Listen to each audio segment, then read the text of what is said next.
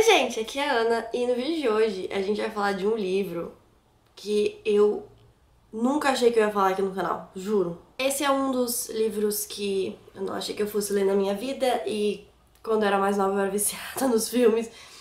E esse ano me surgiu uma oportunidade chamada é, Shopee. Basicamente eu comprei o box dessa série inteira por um preço muito barato, segunda mão. E, e eu falei, quer saber? Por que não? E eu também já tava conversando com a Cleita sobre ler esse, esses livros e essa série e... Assim, eu fiquei bem chocada com o resultado. Então hoje a gente vai conversar sobre Crepúsculo da Stephanie Meyer. Esse vídeo tá muito aquele estilo, é, li Crepúsculo e olha o que deu, sabe?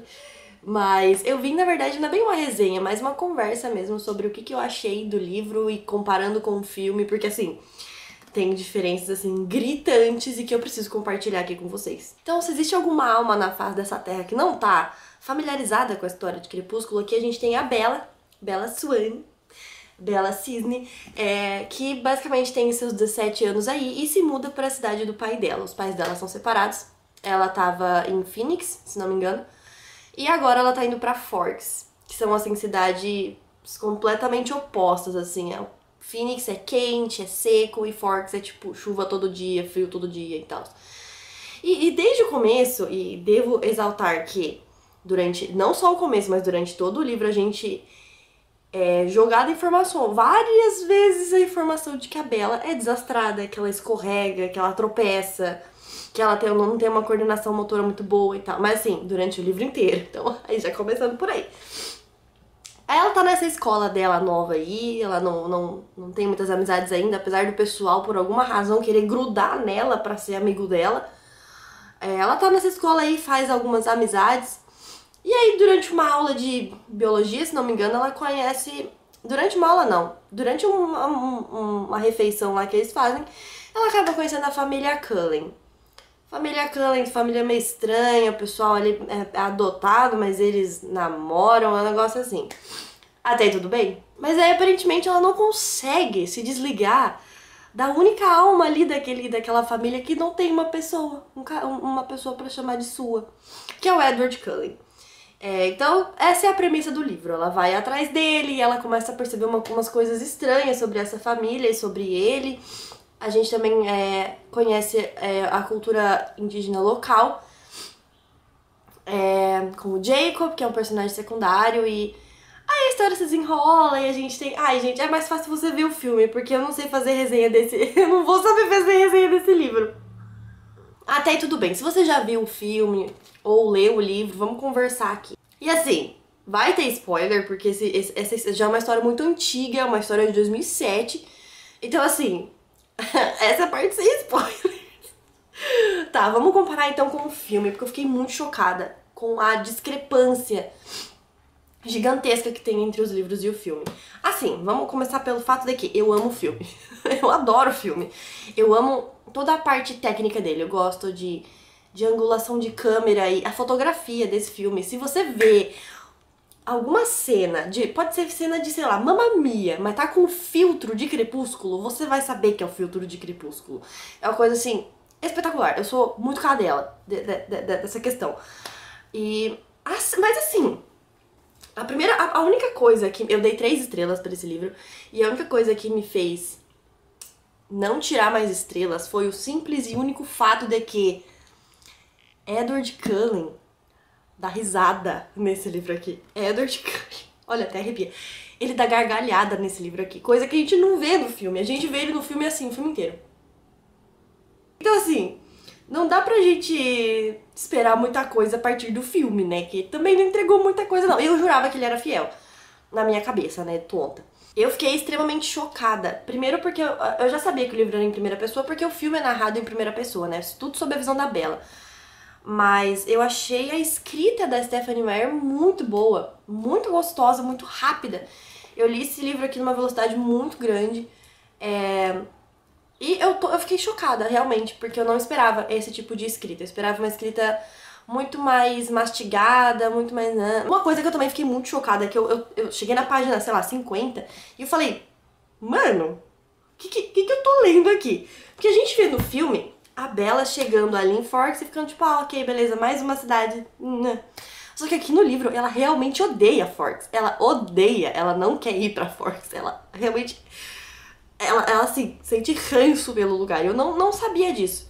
Não sabia que ela sentia esse ódio pela cidade, esse, essa, né, vou querer manter distância da cidade. Eu achei muito legal isso, porque é, eu acho que dá uma profundidade pra personagem. Porque ali no filme a gente vê ela tão em cima do muro, tão mosca morta. Acho que todo mundo naquele filme é meio mosca morta. Eu não vou dizer só, só da Bella, porque eu adoro a Kristen Stewart, eu adoro ela. Então, o fato de que todo mundo no filme é uma mosca morta, eu só pude concluir isso depois de ler o livro. Porque até então, eu só tendo visto o filme, eu ficava tipo, ai, lindos.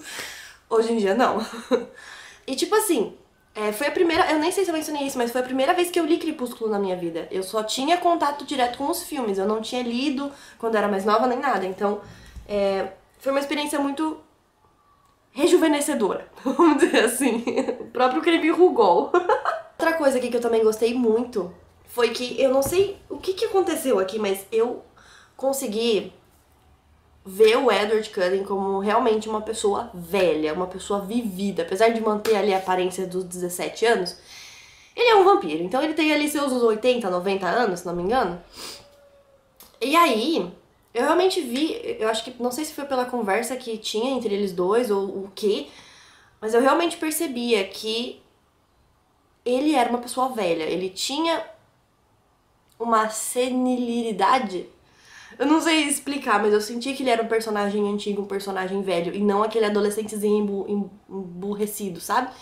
Então, foi muito interessante ver isso. Eu acho que foi uma das coisas que mais me surpreenderam na história. Além do fato de que Edward Cullen sorri. Vamos, vamos parar por aí.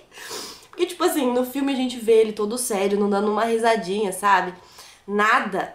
Eu acho que tem uma cena só que ele dá risada, que é quando. Quando eles começam a namorar, que ele puxa ela do carro. E aí eles estão andando em direção à escola e ele fala assim: é, já que eu vou pro inferno mesmo. E é isso, esse é o único momento que. Nossa, eu decorei. É o único momento que ele sorri. Mas aqui no livro, a gente vê que ele dá sorriso o tempo todo. E eu senti. Nossa, se ele tivesse sorrido assim no filme, eu ia cadelar muito mais. Eu vejo aqui que o Edward ele tem um senso de humor também muito bom. Eu acho que.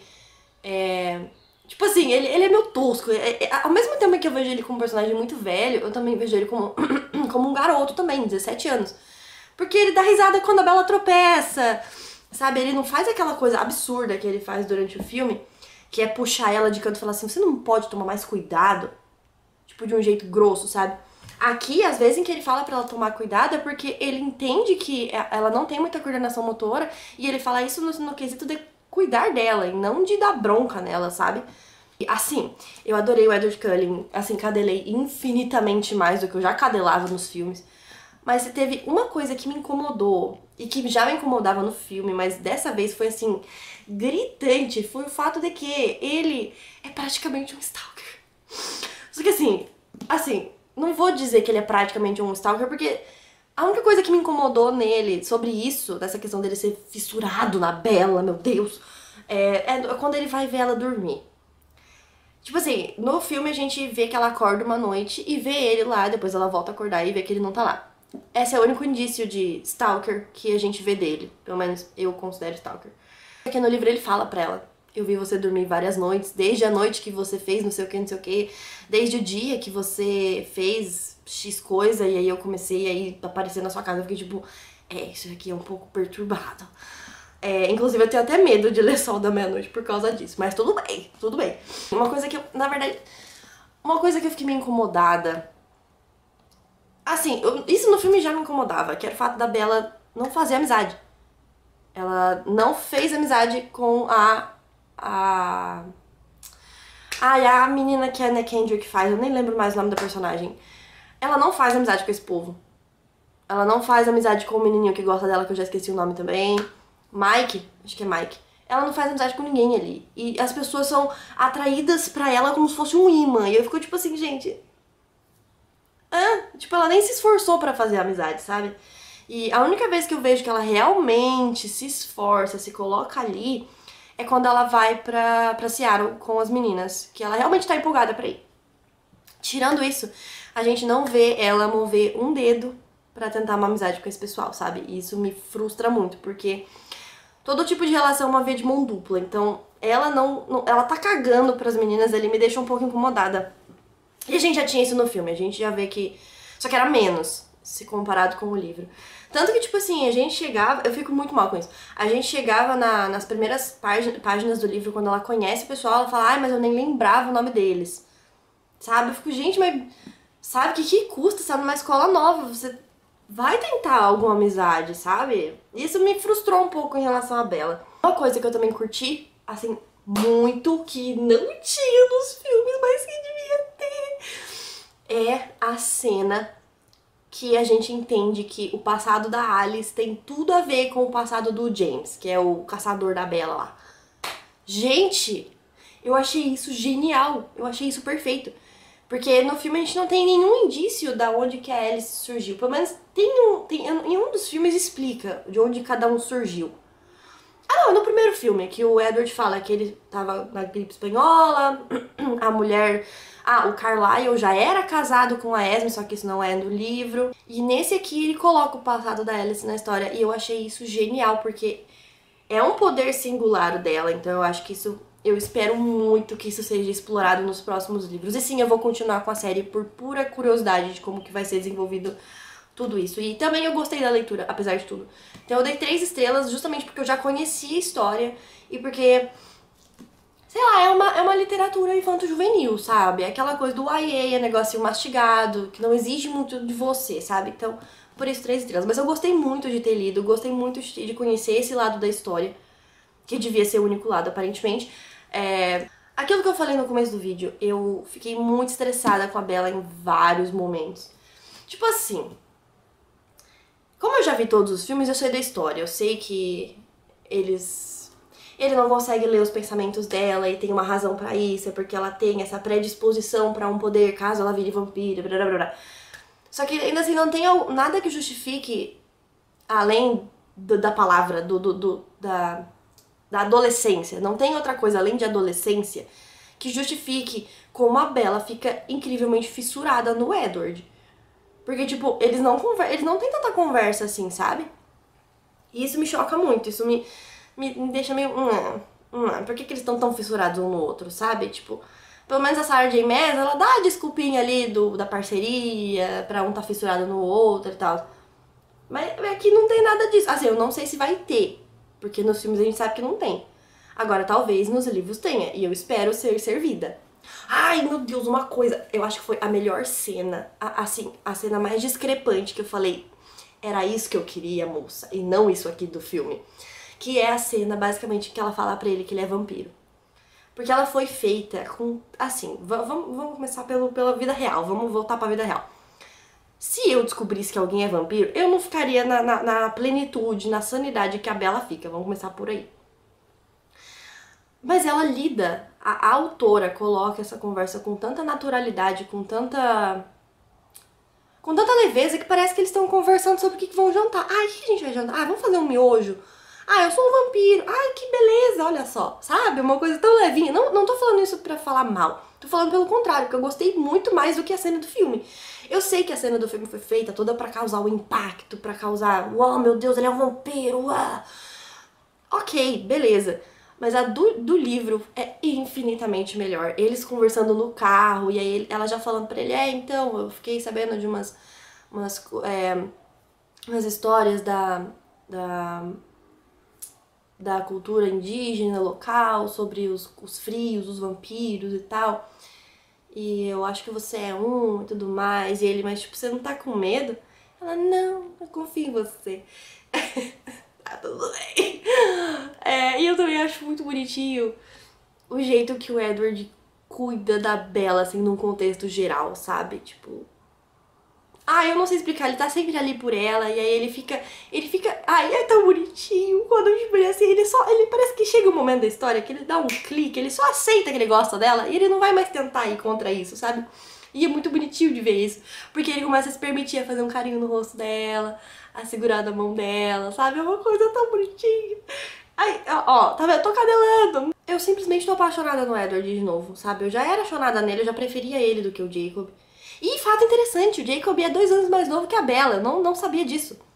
Mas no filme a gente a gente entende que eles têm a mesma idade, só que aqui ele, ele é mais novo, ele, é, ele tem 15, ela tem 17. Eu achei isso bem interessante.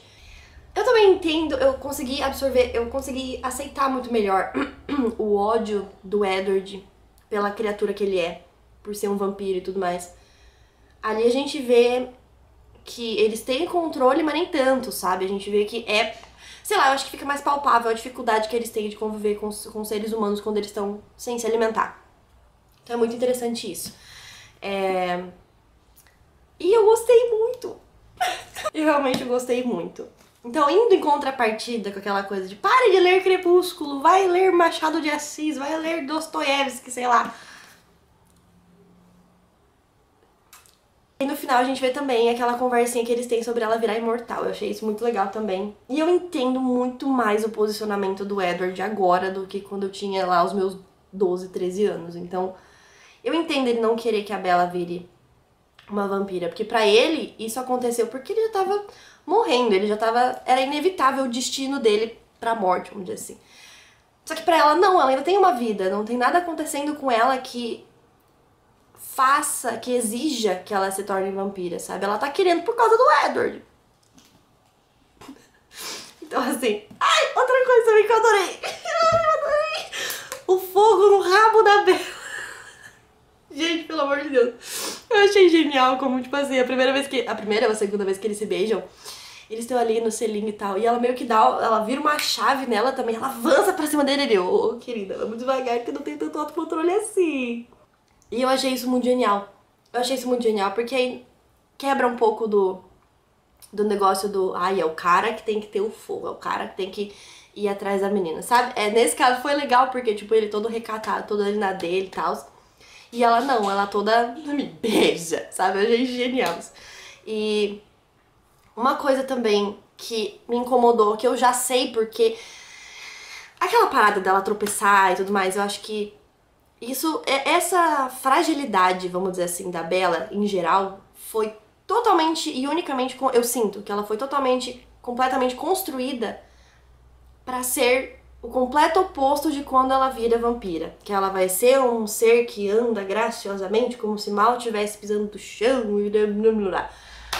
Eu entendo isso, mas eu acho que a diferença não precisava ser tão gritante, porque o fato de impacto já é você ser um vampiro, não precisa ter tanto tanta discrepância, sabe? Só de ser vampiro você já sabe que é diferente. Já sabe que suga sangue, já sabe que brilha no sol. Inclusive a cena do sol é muito bonitinha.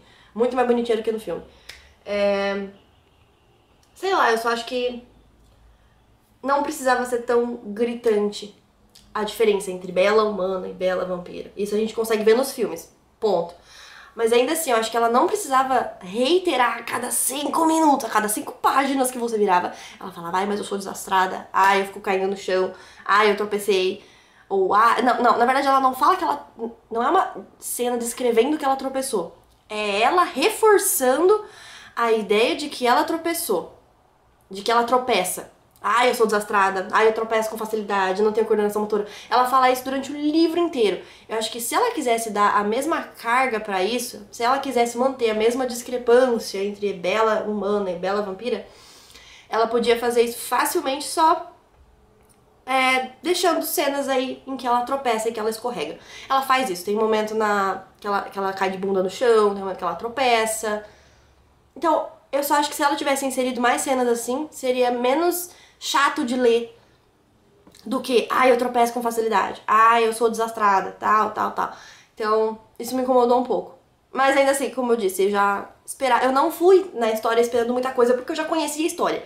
Então, ainda assim eu fiquei surpresa com o que eu li. Eu gostei muito da história, muito, muito, muito mesmo. E aqui eu consegui ver a Bela, a Bela realmente com 17 anos, adolescente, lidando com coisa de adolescente, enfim. Eu acho que no filme a gente. Eu não sei se é. Eu não sei porquê, mas eu imaginava a Bela muito mais velha no filme. Como se exigisse dela mais maturidade. Só que ela é uma adolescente. Ela tem 17 anos, então eu consegui ver muito mais isso aqui no livro e eu achei, assim, um sabor esse livro aqui. Apesar de já conhecer a história e tudo mais, gostei muito, muito mesmo. É isso, gente. Espero que vocês tenham gostado desse vídeo. Se você gostou, deixe seu like, se inscreve aqui embaixo. Se você já leu Crepúsculo, me conta aqui nos comentários o que, que você achou. E se você teve algum interesse em ler, mesmo conhecendo a história, me conta aqui também. E se você for ler, me conta também, porque eu vou adorar saber. E é isso. Inclusive, eu quero agora maratonar os filmes. A cada livro que eu vou ler, eu vou vendo um filme, só pra balancear. Então é isso, gente. Meu beijo pra vocês, fiquem com Deus e até a próxima!